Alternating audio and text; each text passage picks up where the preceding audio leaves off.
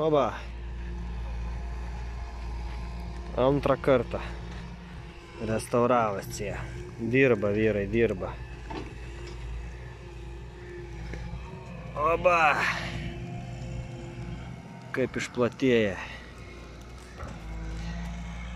Na, pa, pakasime. O, U, dydis.